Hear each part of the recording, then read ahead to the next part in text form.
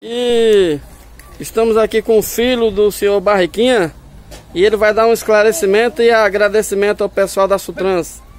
Aí, doutor Marco. Olha, doutor, olha, eu quero agradecer o pessoal da Sutran aí por, tá por ter dado esse suporte, né?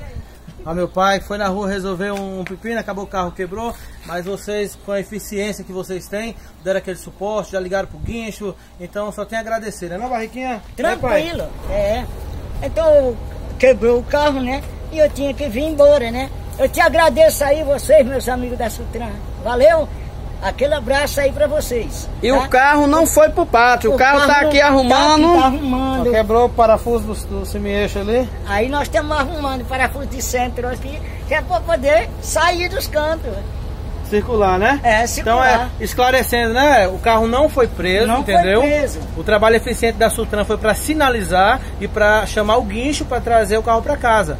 Negativo essa história que o carro foi preso, não, Não, viu? o carro não foi preso. Valeu? não. E temos só a agradecer o pessoal aí da Sutrans aí que deu um apoio para nosso amigo Barriquinha. Aí, valeu. É, Barriquinha. É, tá aí. Meus amigos aí. Tá, tô aqui, ó. Tô consertando aqui.